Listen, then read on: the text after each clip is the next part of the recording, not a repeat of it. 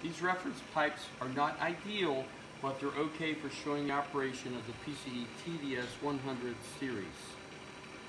When putting the sensors on, it's important to put the upflow sensor on. It's color-coded orange. This has to go in the direction of the liquid flowing through the pipe on the upflow. The blue one is the downflow sensor. Make sure they're at 90 degrees in case of turbulence or air bubbles in the top of the pipe.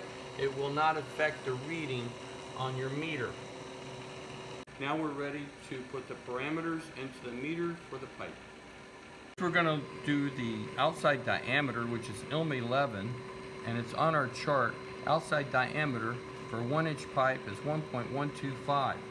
So on the meter, we go to menu 11, and there's our outer diameter, and we, we enter 1.125, enter. Now we have outside outer diameter, outside diameter at 1.125, same as our chart for copper tube. So if we put the outside diameter in, it figures the circumference for us, which is ILM 10.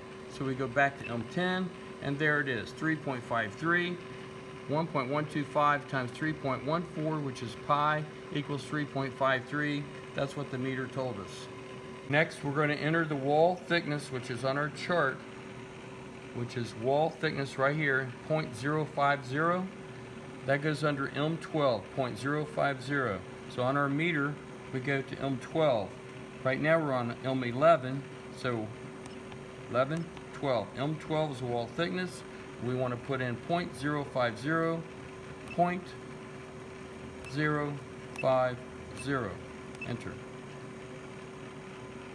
Now, since we have 0.050 um, inside the meter, that will figure for us the M13, which is the inner diameter. So if we go down from M12 to M13, there it is, 1.025, and that's on our chart, 1.025, so it's done.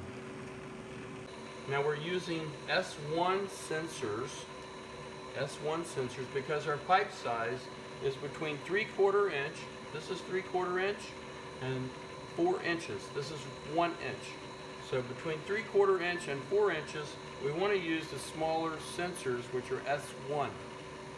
Now that we've got our information about our uh, pipe or our tube, copper tubing into the meter, we're going to go to the next part of selecting what type of material is the pipe. So we have to go, according to our book, we have to go to M14. We can use our down arrow to go M14. We are using copper. So that's what we want. Not PVC this time, it's copper. So enter copper, it's in. Now we're going to go to M16, which is liner. There is no liner in the copper pipe. Then we go to the liquid, M20. Okay, we have water flowing through our pipes or our tubes, copper tube, so we want to make sure it says zero for water. Now we're going to select our transducers type. So we go enter and we go down arrow till we get to S1. Standard S1, enter. Next we're going to select the method which is the V method for this particular pipe which is M24. So we go down to M24 and we don't want the W so we enter and go down to V method V method, select, enter. Now we have the V method. Since we have the V method, that will tell us the distance between the sensors that we have to maintain, which is M25. There's the distance between the sensors that we need. The meter tells us that we need to space the sensors 0.4375. We have a measuring ruler, so that's less than half an inch. So there we are, 0.4375. We're using the V method according to our pipe size.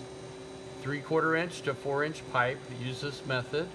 The V method shoots a signal from our upflow down through the pipe, through our liquid to the bottom of the pipe, and back up to our outflow sensor. Next, we're going to go to M28, which is for poor signal. M28. We want to hold the poor signal. Always say yes. After that, we're going to M31, which is the flow rate.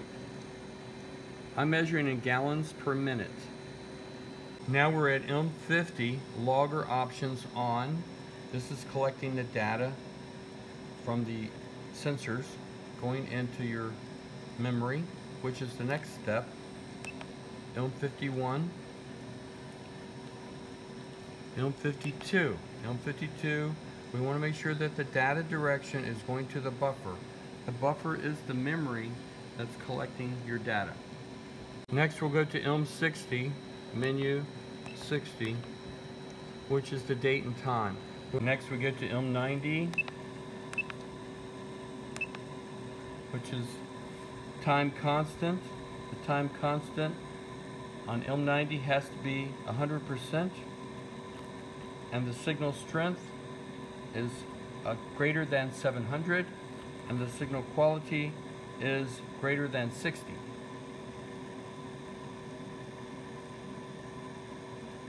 This completes the instructions on the basic setup for the PCE TDS 100. This is the HS model for smaller pipe size, 3 quarter inch to 4 inch pipe.